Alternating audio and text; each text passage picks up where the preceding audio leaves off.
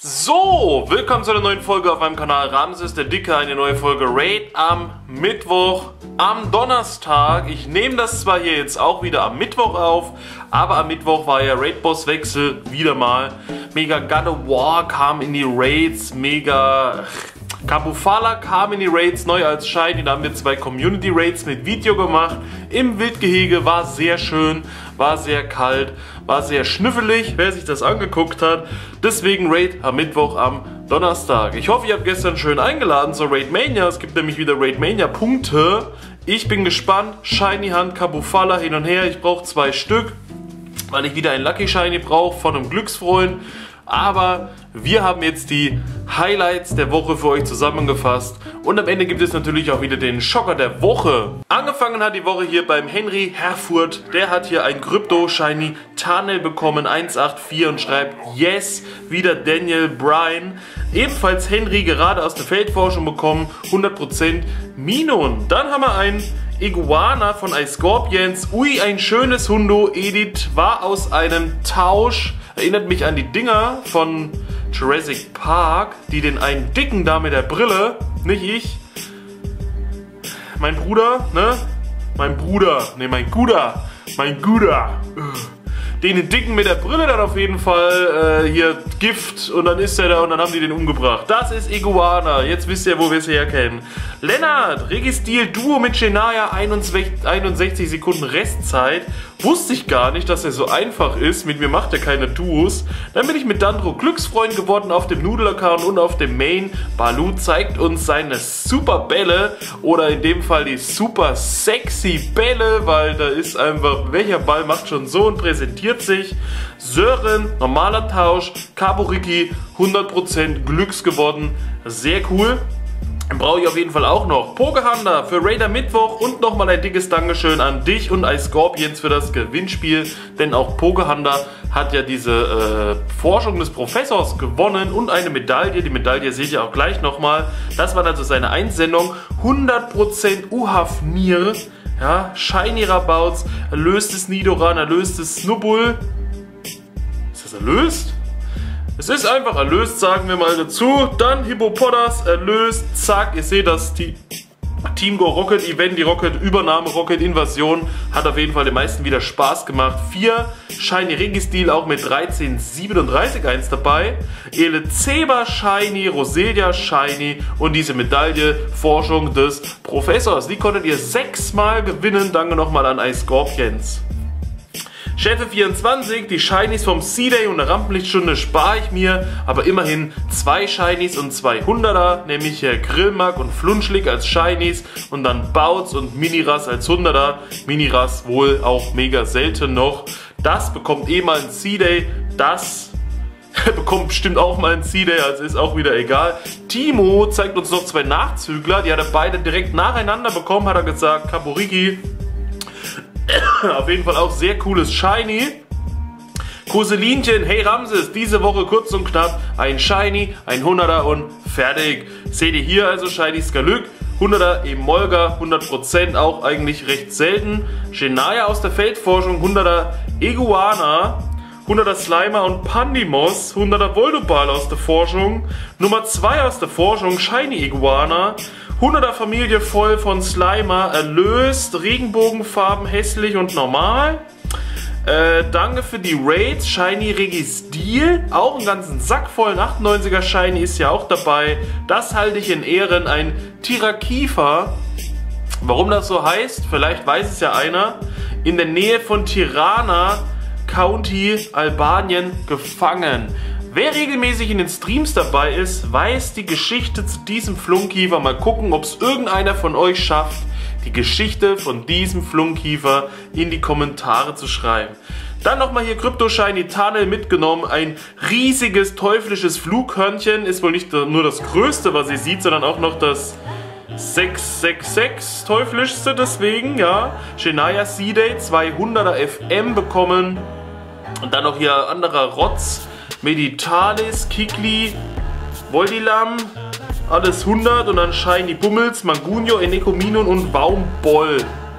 Ich habe letztens Baumwoll gesagt bei der äh, Spotlight-Stunde, aber das ist ja Flecknoil.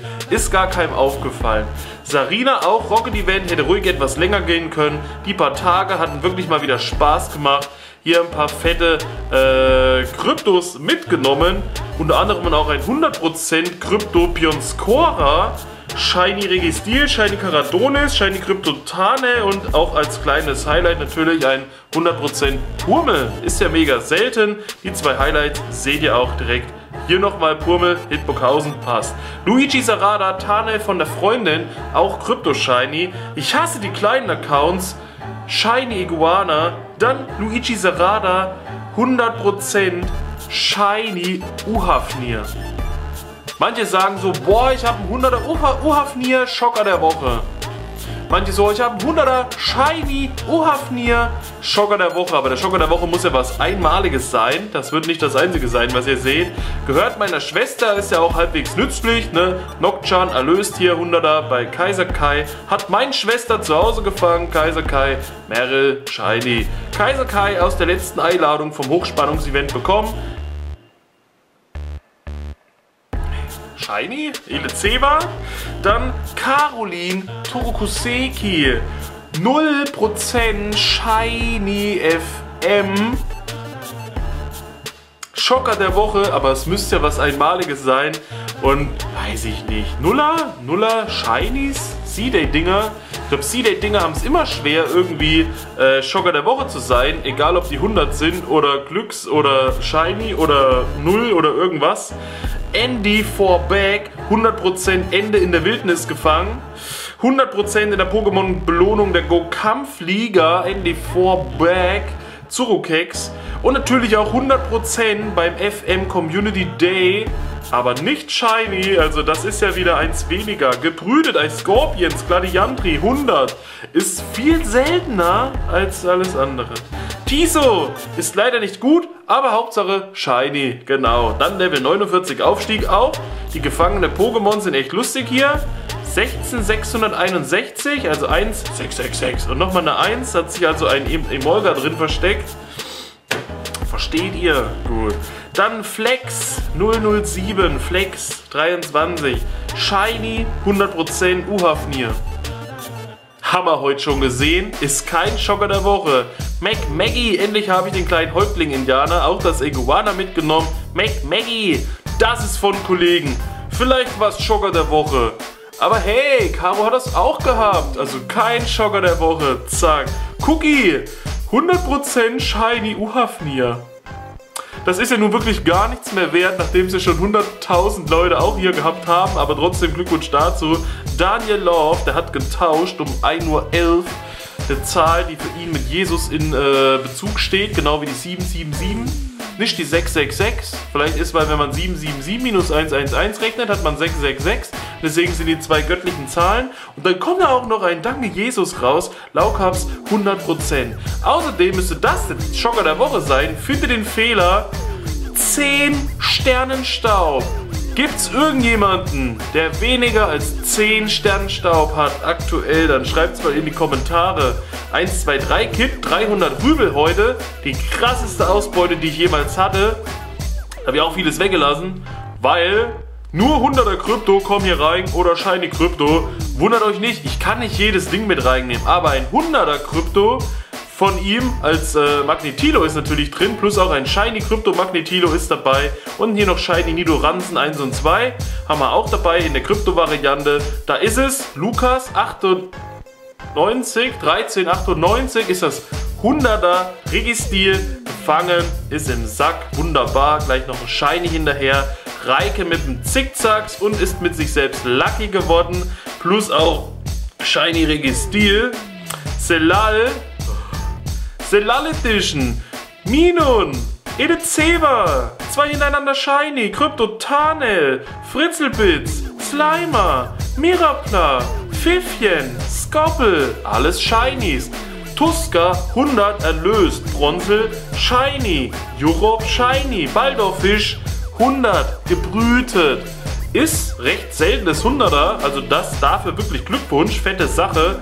Habitat, Shiny, Box, Daily Free Box. Jetzt weiß ich auch, wieso so viele Leute 100% Shiny Uhafnirs haben. Die sind in dieser Box drin, jetzt verstehe ich das. Neben deinem Traumauto, einer super teuren Uhr, Skittles, kommen die Skittles da rein und einem Uhafnir Shiny, was wahrscheinlich 100% ist. Diese freie Box habe ich leider nicht. Elke auf dem Kaisi-Account, 100er Zebritz, Bronzel 100, Flampion Shiny, Iguana Shiny, äh, Dusselgur, Shiny, Spotlight, Shiny, Taubos, Registil, Shiny, Register, 1337, jetzt verstehe ich das, Elite. Dann hat sie nochmal alles geschickt, auch auf ihrem Account. Sie hat also Shiny, Familie voll, 100er Familie voll von Ele Zeba, Ele Bits, so Zeug. Dann haben wir noch ein Shiny Caboriki, Shiny Iguana, Shiny Bidizza, Shiny Bodogel, nochmal 1337er Relaxo Elite Mon. Lennart hat schon wieder das Spiel kaputt gemacht am Eingang des jüdischen Friedhofs mit Knus. Was ist da los? Völlige Eskalation. Dann Fritzel Blitz, Shiny, Brainy Stendal. 100% Glücks Shiny Lavita.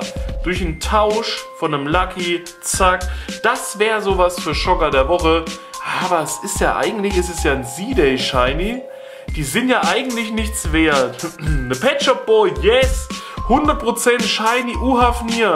Was ist denn eigentlich besser? Ein 100% Shiny vom Z-Day oder ein 100% Glücks-Shiny vom Z-Day? Weil das eine, da könnte man theoretisch, böse Zungen behaupten das, 100er snipen, bis eins ein Shiny ist und hat dann 100er Shiny. Durch einen Lucky, Shiny Lucky traden mit mindestens 12, 12, 12 ist die Wahrscheinlichkeit ja trotzdem hoch, dass das ein 100er werden könnte. Und ist halt wirklich trotzdem dann nochmal Zufall, während das andere vielleicht mit ein bisschen, wer eine Map hat oder sonst was, äh, gezielt wirklich danach suchen kann und an dem Tag einfach die Zeit hat und das müsste dann also mehr wert sein, weil es nicht beeinflussbar ist und war und hin und her. So, jetzt weiter trotzdem Cumulus. Cumulus mit ordentlichen Werten. Rabauts, Sekrom hier, 100%. Glücks, Bisa, Flor. Feuerwehrfrau auch 100% FM noch mitgenommen und dann bin ich mit Kolidita heute am Mittwoch, also ihr seht das am Donnerstag, also gestern, am Mittwoch beim äh, Kabufala Community Raid aufgestiegen, auch zu Glücksfreunden. Und das waren jetzt die Bilder. Und jetzt haben wir noch, weil wir den Selal so durchgerotzt haben, den äh, Schocker der Woche. Und der Schocker der Woche kommt diesmal von, haltet euch fest, da muss ich kurz vorbei, Klotzi! Weil das ist einfach nur ein ganz normales shiny Registil in 100%. Infusion am Arm und ein Schundo gegönnt. Krankenhaus hat doch was Gutes. Sieht jetzt nicht so beeindruckend aus, aber habe ich trotzdem so gewählt, weil erstmal random, wenn du raidest, dass du überhaupt einen 100er kriegst, was schon eine hohe Rate hat, dann random einen Shiny zu kriegen, auch, ja, was wert, kannst du auf jeden Fall nicht beeinflussen, nicht gezielt wie ein C-Day 100er oder ein C-Day Shiny oder ein C-Day Shiny 100er und wenn man es dann vergleicht mit dem C-Day Shiny 100er in Glücks, was ja durch den Tausch trotzdem mindestens 12, 12, 12 hat, da nicht so viele Kombinationen möglich sind. Hier aber völlig aus dem Raid rausgezogen müsste das die, äh, die größte Rate haben, also mit weniger Chancen drin, da erstmal die 100 und das Shiny zu treffen in einer Begegnung ist, glaube ich, das Beste, was du haben kannst. Deswegen für mich dieses Shiny Registil in 100% Schocker der Woche, das Beste von dieser Woche, die beste Einsendung. Wenn ihr anderer Meinung seid, wenn ihr sagt, nee, das ist nichts, das andere davor war viel besser, dann schreibt mal rein, was eurer Meinung nach der Schocker der Woche hätte sein müssen von den Einsendungen heute. Und ansonsten würde ich sagen, gibt es 18 Uhr bei euch am Donnerstag Mega God of War Raids für Zuschauer.